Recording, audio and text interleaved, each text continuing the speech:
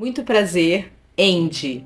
Sou oceanógrafa e habilitada em gestão ambiental costeira e me uni à organização da sociedade civil Guardiões do Mar para lutar pela conservação e desenvolvimento sustentável da zona costeira e marinha. Sim, os ecossistemas dessas regiões pedem socorro. A ocupação desordenada do território, o uso insustentável dos recursos naturais e a poluição marinha costeira têm degradado toda a riqueza que dela advém.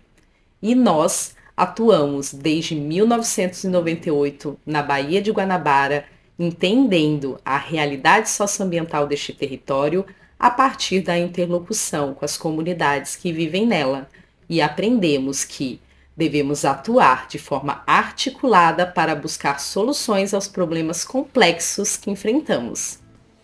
Nossas estratégias e ações envolvem a restauração de manguezais, o estímulo ao protagonismo jovem e comunitário, a sensibilização e comunicação acessíveis, a realização de pesquisas e o fomento à socioeconomia pautada na conservação da natureza.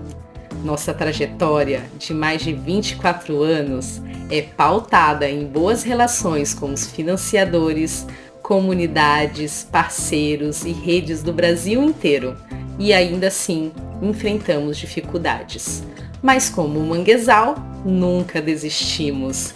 Somos resilientes, adaptativos e abertos às oportunidades, como a formação do Aprimora, que faz parte da teia de soluções da Fundação O Boticário.